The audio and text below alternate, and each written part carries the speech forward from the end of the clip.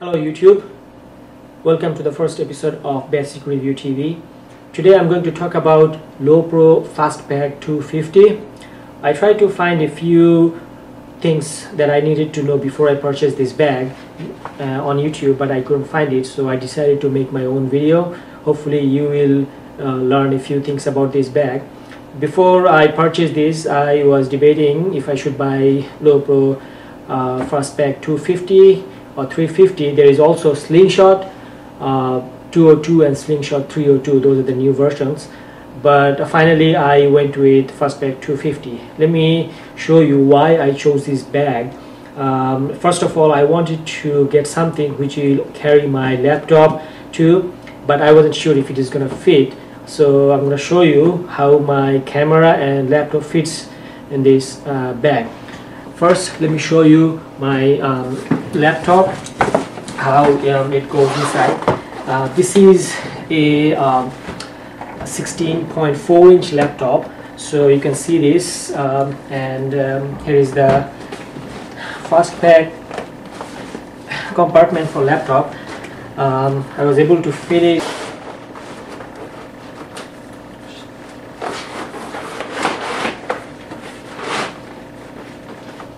as you can see this holds a 16.4 inch laptop and then you can there is still actually space. I had a hard time putting it in. You can still see that this fits a 16.4 inch laptop and um, especially I wanted to take it in, in travel uh, with my camera. So if you have a smaller laptop which is 15.4 uh, inch then it's definitely gonna fit.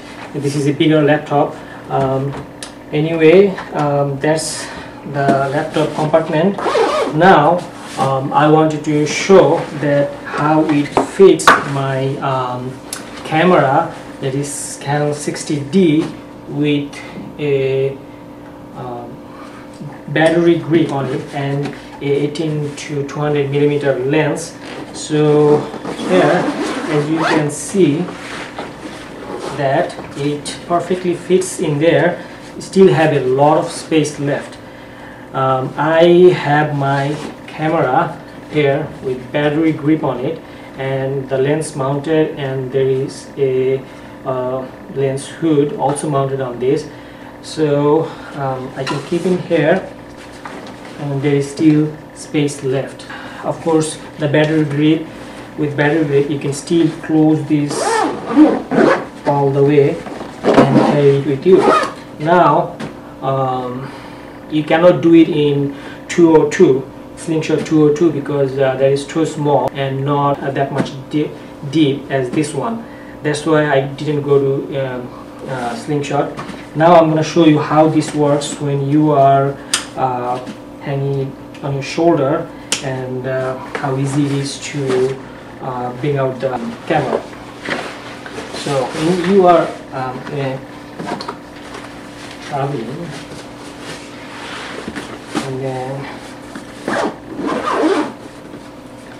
there you can see I can easily bring out this camera with my battery grip on and also put it back in there with battery grip so there is no problem enough space to um, close it and also open it with this big camera on it. Uh, the other thing I want to show is that this doesn't have a place to um, hang or carry the uh, tripod. So what I did is uh, I actually borrowed the idea from another YouTuber uh, who actually showed it on his video. So I just want to show you this too. You can there is a mesh pocket on the side for stuff.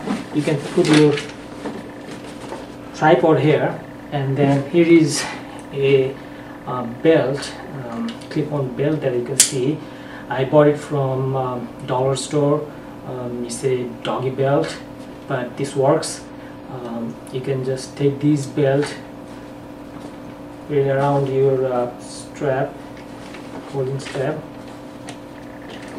and then just put it around this tripod and it's not going anywhere. So I mean, I'll show you when I'm putting it on. Yeah. It's not going anywhere.